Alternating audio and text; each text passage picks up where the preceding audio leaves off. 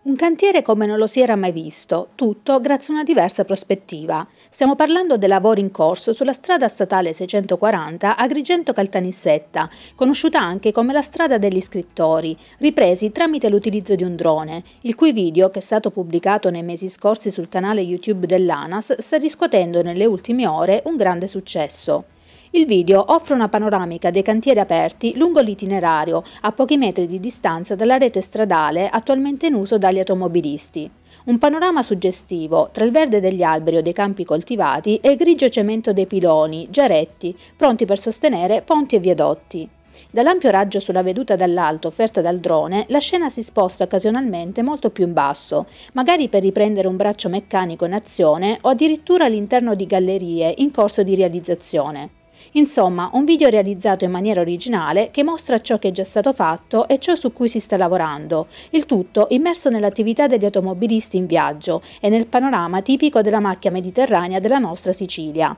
Andando oltre la suggestività delle riprese, i lavori di raddoppio lungo l'Agrigento Caltanissetta hanno anche evitato che su questo tratto stradale si registrasse nell'anno 2016 alcuna contravvenzione per eccesso di velocità, proprio in virtù dei limiti di velocità bassi imposti a causa dei cantieri, cosa che invece si è registrata in altre strade statali.